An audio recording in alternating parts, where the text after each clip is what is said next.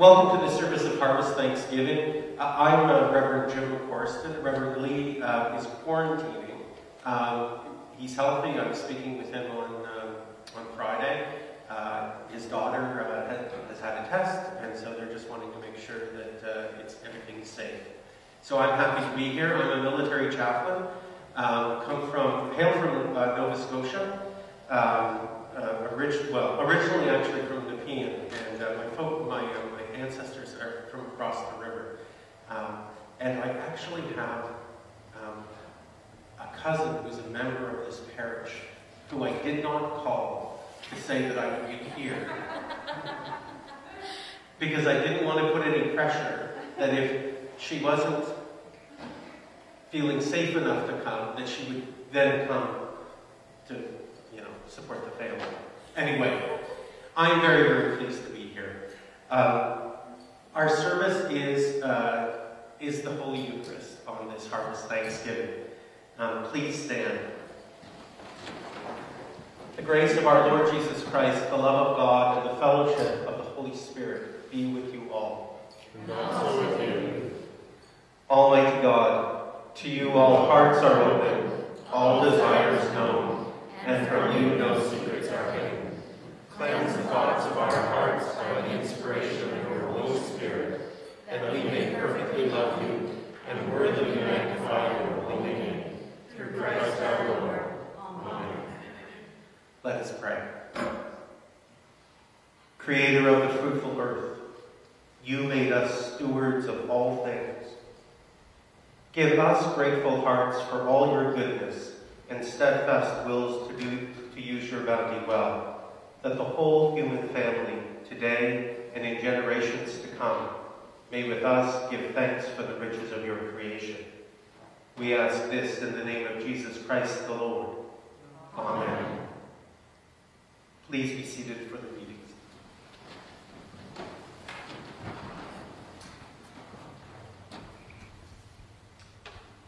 A reading from the book of Deuteronomy. For the Lord your God is bringing you into a good land a land with flowing streams, with springs and underground waters welling up in valleys and hills, a land of wheat and barley, of vines and fig trees and pomegranates, a land of olive trees and honey, a land where you may eat bread without scarcity, where you will lack nothing, a land whose stones are iron and whose hills you may mine copper. You shall eat your fill and bless the Lord for the good land that he has given you.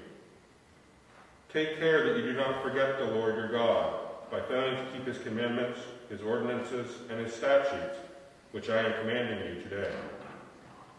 When you have eaten your fill and have built fine houses and live in them, and when your herds and flocks have multiplied, and your silver and gold is multiplied, and all that you have is multiplied, then do not exalt yourself, forgetting the Lord your God, who brought you out of the land of Egypt out of the house of slavery, who led you through the great and terrible wilderness, an arid wasteland with poisonous snakes and scorpions.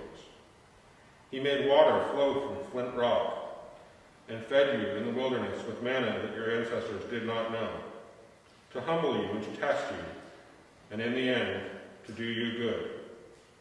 Do not say to yourself, My power and the might of my own hand have gotten me this wealth.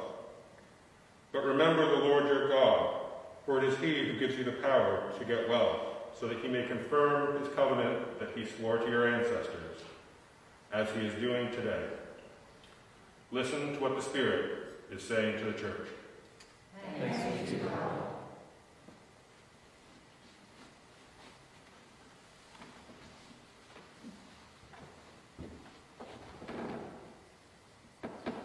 Properly appointed psalm for today is Psalm 65. We'll recite it responsively by the half verse. You are to be praised, O God, in Zion. To you that hear prayer shall all flesh come. Our sins are stronger than we are. But Happy are they whom you choose and draw to your courts to dwell there. They will be satisfied you in your house. by the holiness of your temple. Awesome things will you show us in your righteousness.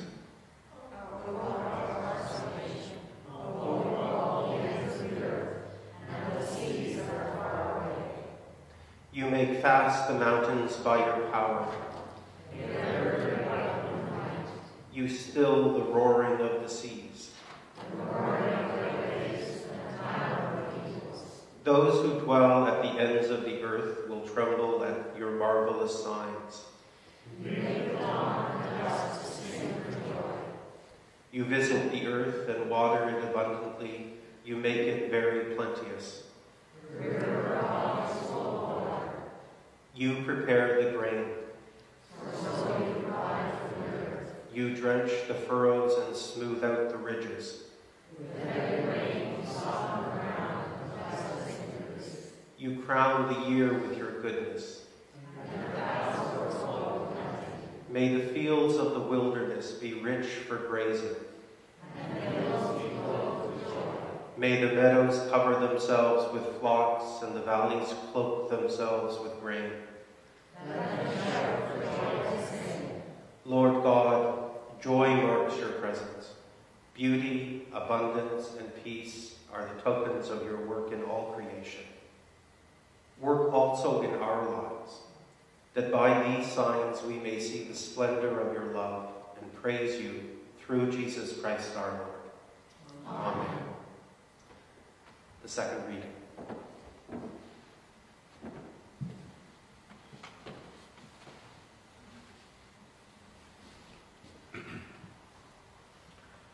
Reading from the second letter of Paul to the Corinthians. The point is this the one who sows sparingly will also reap sparingly. The one who sows bountifully will also reap bountifully. Each of you must give as you have made up your mind, not reluctantly or under compulsion, for God loves a cheerful giver.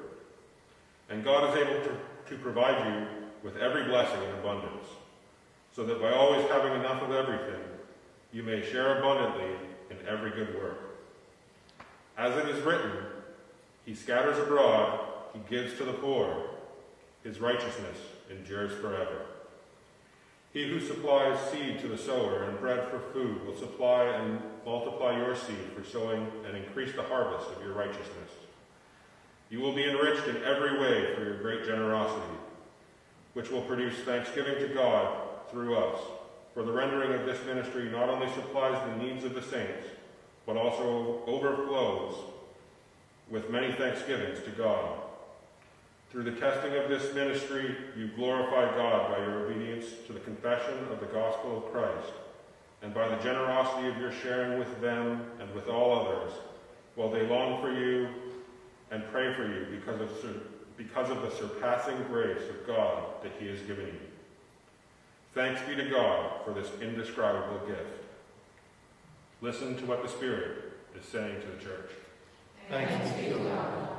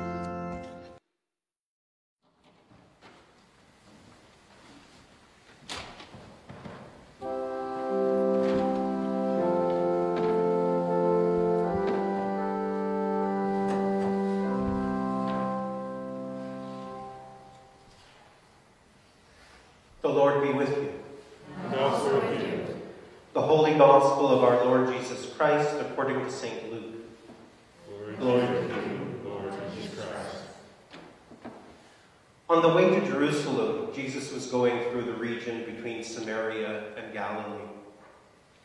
As he entered a village, ten lepers approached him. Keeping their distance, they called out, saying, Jesus, Master, have mercy on us.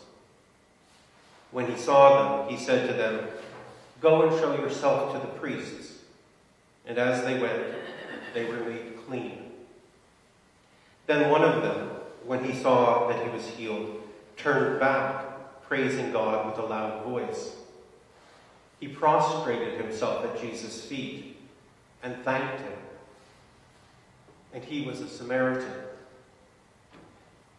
Then Jesus asked, Were not ten made clean? But the other nine, where are they? Was none of them found to return and give praise to God except this foreigner? Then he said to him, Get up and go on your way. Your faith has made you well. This is the gospel of Christ. Praise you, Lord Jesus Christ. I speak to you in the name of God the Father, and God the Son, and God the Holy Spirit. Amen. Please be seated.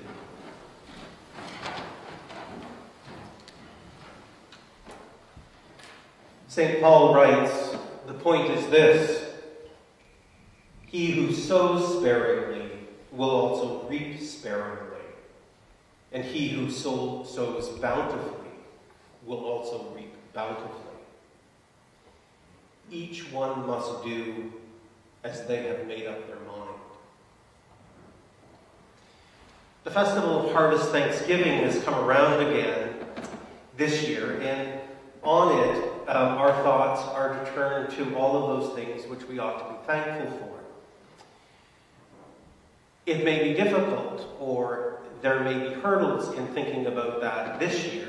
We have not gathered on this Harvest Thanksgiving the way that we normally gather in parishes all across the country uh, to celebrate Harvest Thanksgiving.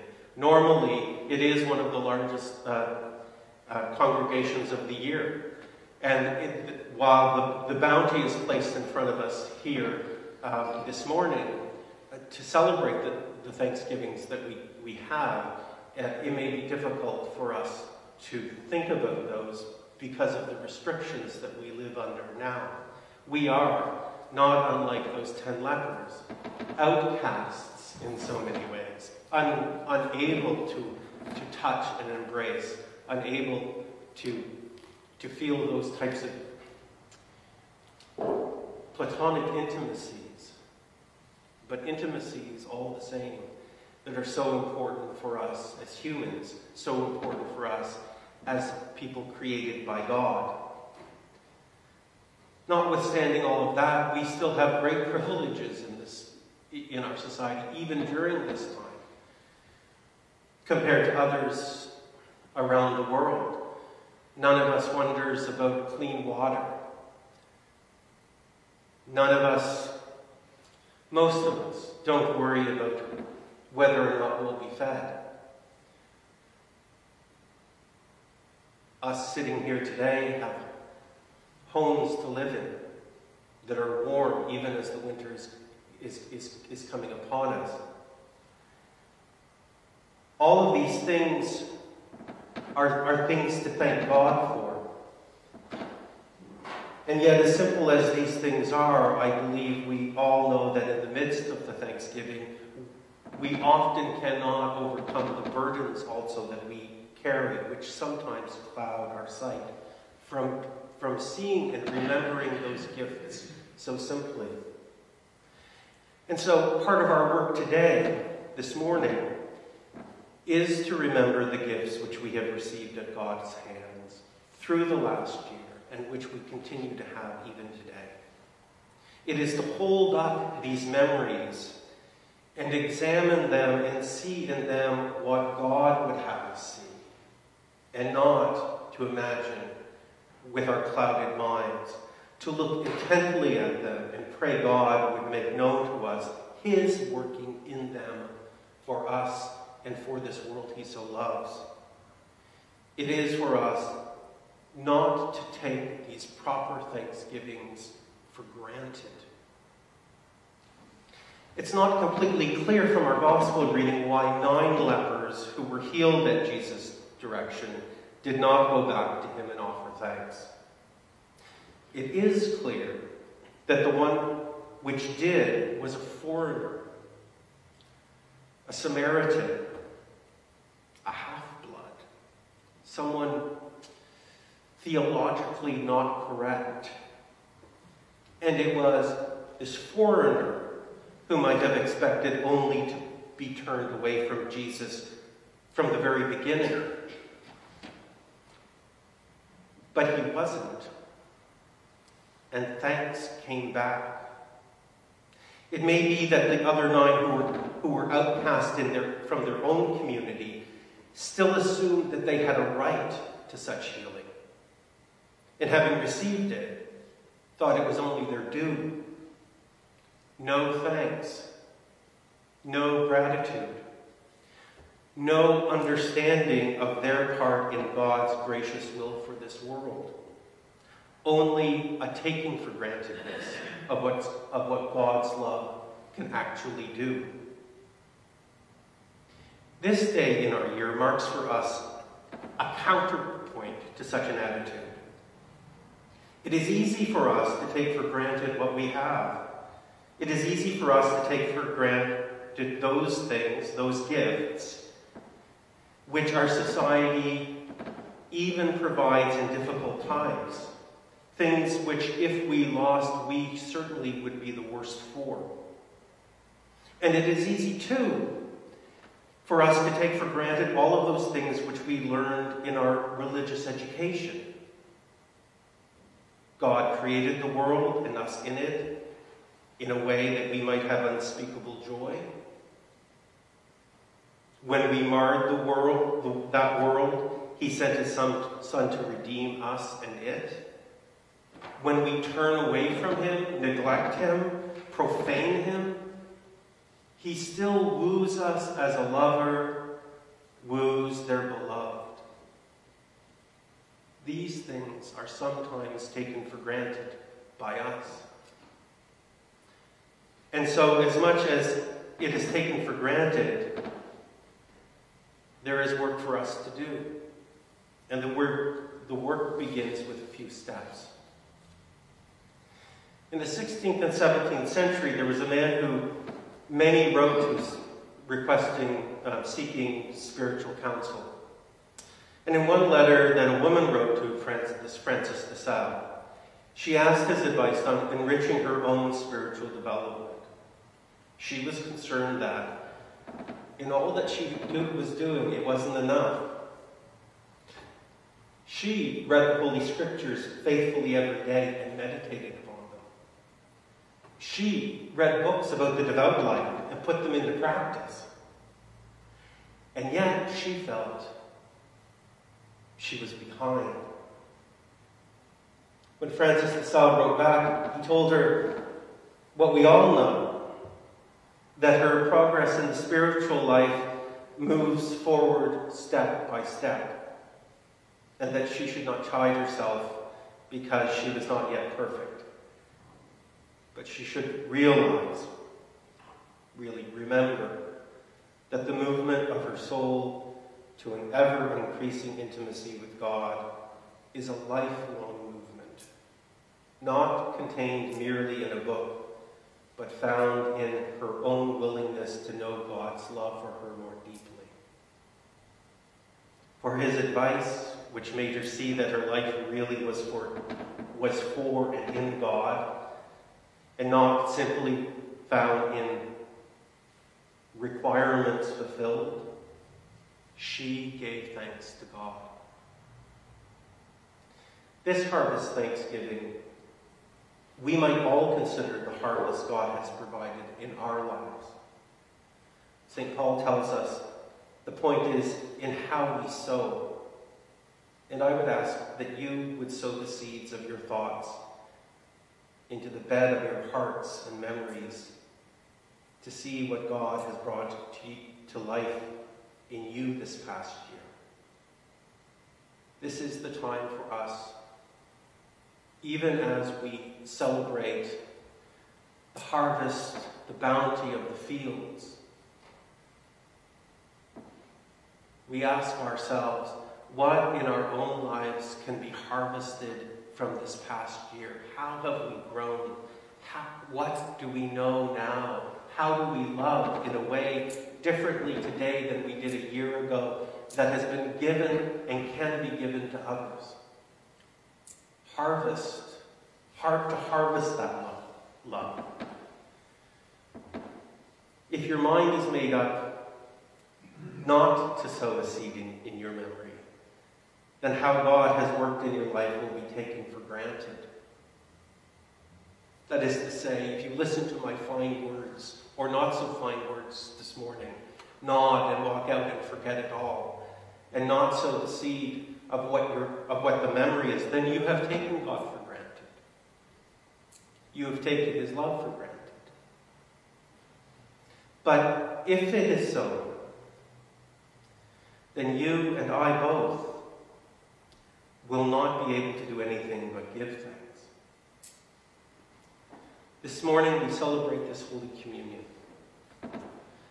While we celebrate with thanks Christ's offering of himself and death for the sake of our relationship with God, let us be mindful of all that God has provided for us. And let us give thanks to him for it and for himself. Let us come to this altar and make an holy communion with our Lord and Savior, Jesus Christ. Amen. I invite you to stand and let us confess our faith in the words of the Apostles' Creed.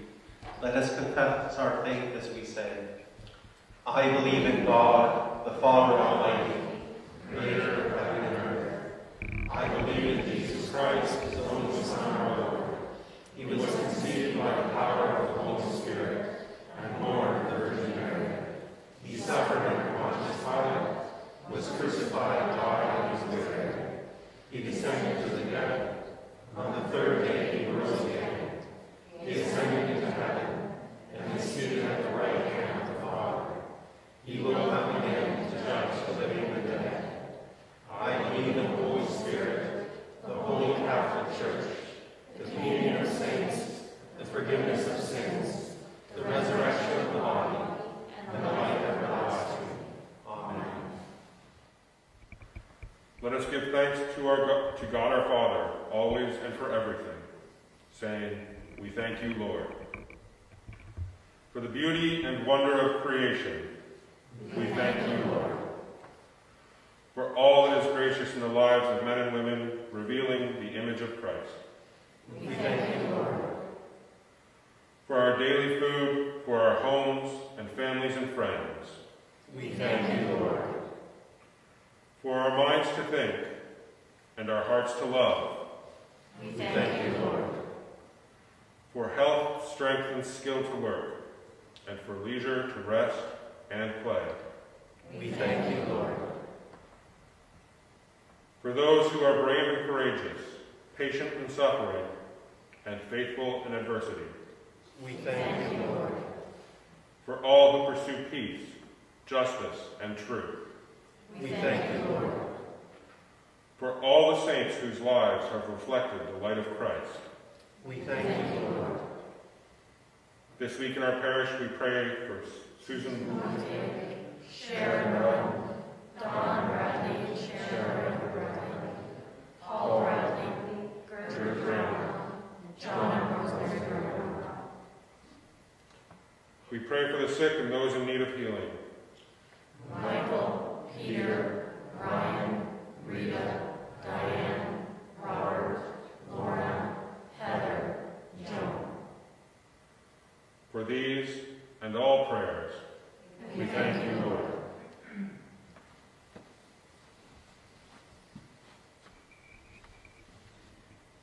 My friends in Christ, God is steadfast in love and infinite in mercy.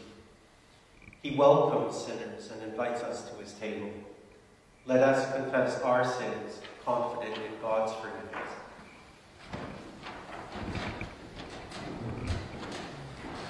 We confess that we have sinned against you in thought, word, and deed, by what we have done and by what we have left undone. We have not loved you with our whole heart. We have not loved our neighbors as ourselves. We are truly sorry and we humbly repent. For the sake of your Son, Jesus Christ, have mercy on us and forgive us, that we may delight in your will and walk in your ways, to the glory of your name. Amen. Almighty God, have mercy upon you, pardon and deliver you from all your sins, confirm and strengthen you in all goodness, and keep you in eternal life through Jesus Christ our Lord. Amen. The peace of the Lord be always with you. And also with you. Let us pray. Source of all life, the heaven and earth are yours, yet you have given us dominion over all things. Receive the symbols of our labor and love which we offer you this day, in the name of Jesus Christ our Lord. Amen. The Lord be with you. And also with you. Lift up your hearts. We lift them to the Lord. Let us give thanks to the Lord our God. It is right to give our thanks and praise. It is indeed right that we should praise you, gracious God, for you created all things. You formed us in your own image. Male and female you created us. When we turned away from you in sin, you did not cease to care for us, but opened a path of salvation for all people. You made a covenant with Israel, and through your servants Abraham and Sarah gave the promise of a blessing to all nations. Through Moses, you led your people from bondage into freedom. Through the prophets, you renewed your promise of salvation. Therefore, with them, and with all your saints who have served you in every age, we give thanks and raise our voices to proclaim the glory of your name. Holy, holy, holy Lord, God of power and might, heaven and earth are full of your glory. Hosanna in the highest. Blessed is he who comes in the name of the Lord. Hosanna in the highest. Holy God, source of life and goodness, all creation rightly gives you praise. In the fullness of time, you sent your Son, Jesus Christ, to share our human nature, to live and die as one of us, to reconcile us to you, the God and Father of all. He healed the sick and ate and drank with outcasts and sinners. He opened the eyes of the blind and proclaimed the good news of your kingdom to the poor and to those in need. In all things, he fulfilled your gracious will. On the night he freely gave himself to death, our Lord Jesus Christ took bread. And when he had given thanks to you, he broke it and gave it to his disciples and said, Take, eat, this is my body which is given for you. Do this for the remembrance of me.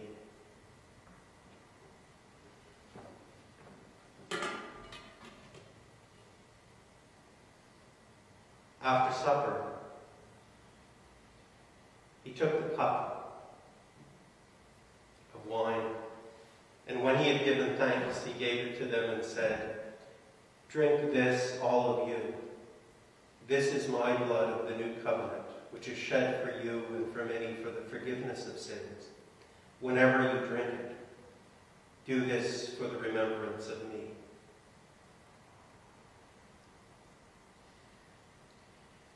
Gracious God, his perfect sacrifice destroyed the power of sin and death. By raising him to life, you give us life forevermore.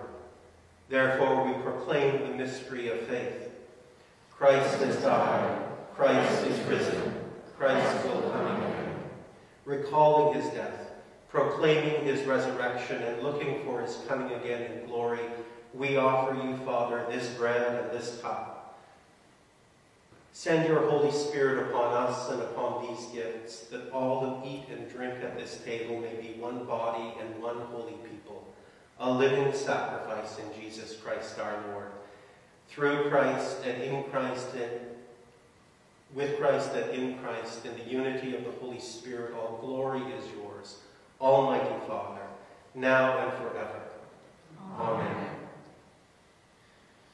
And now, as our Savior Christ has taught us, we are bold to say, Our Father, who art in heaven, hallowed be thy name. Thy kingdom come, thy will be done, on earth as it is in heaven.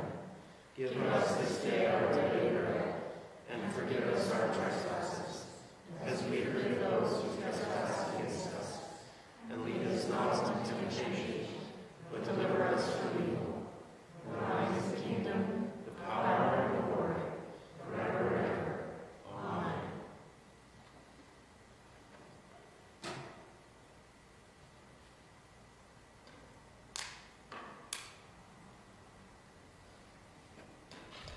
Creator of all, you gave us golden fields of wheat, whose many grains we have gathered and made into this one bread. So may your church be gathered from the ends of the earth into your kingdom. These are the gifts of God for the people of God. Thanks be to God.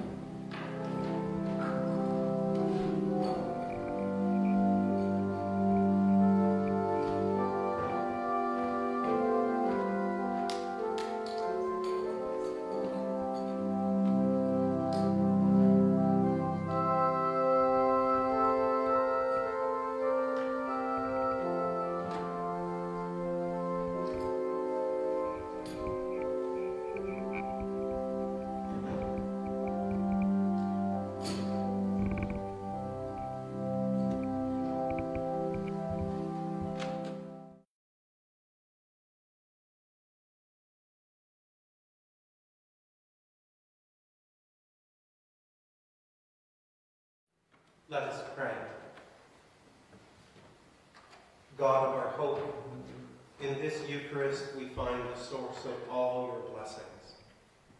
Nourished in these holy mysteries, may we with our lives give you continual thanks and praise. This we ask in the name of Jesus Christ our Lord. Amen. Glory to God, whose power working in us can do infinitely more than we can ask or imagine. Glory to God from generation to generation, in the church and in Christ Jesus, forever and ever. Amen. And the peace of God, which passes all understanding, keep your hearts and minds in the knowledge and love of God, and of His Son, Jesus Christ our Lord. And the blessing of God Almighty, the Father, the Son, and the Holy Spirit be amongst you, and remain with you now and always. Amen. Be seated for the announcements. Well, good morning, and so glad you could join us on this Thanksgiving morning. And we want to wish everybody a very happy Thanksgiving, whether those of you who are here this morning, those who are wor- worshiping with us online. It's been a tough year, as we all know, and uh, I, I know families aren't able to gather the way they want, but yet we are one greater family here, and uh, it, it, it's good to have this opportunity. I want to recognize the uh, flowers on the altar and uh, those who made specific donations for that, as well as uh, people who brought in various uh, canned goods and, uh, and, and other food as part of our decorating the church for Thanksgiving. The uh, food will go to the food bank after the service. A couple of other things coming up. The first is, even while we're in the midst of COVID, we've decided We've realized that we need to take some conscious actions to, to give people an opportunity to come together. So, assuming the weather is good next weekend, uh, we're going to try having a walk on the uh, Trans Canada Trail. Uh, and that will be leaving from, uh, from Main Street and heading west toward the observation station out in the marsh. And if you would like to join us, if you can join us, that would be great. And we'll keep our distance and all the rest of the things we need to do. But the leaves are turning, and if it's a if it's a nice day, it's a great chance to get some fresh air. I, I hear vitamin D is really important in building, boosting the immune system.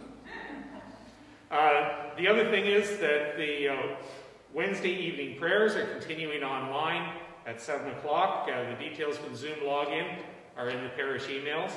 And uh, that evening prayer service is followed by a Bible study. We're currently working our way through the Gospel of Luke and uh, happy to have you join for prayers, for Bible study, for both. If you want to get a copy of the background material, please contact the church office. The fundraising team is also continuing to collect recipes for a cookbook, and uh, they'd like to get all the submissions in by the end of November. So that's it for the announcements for today, and uh, I, I, wish you uh, a very happy Thanksgiving, uh, and please enjoy the rest of the weekend.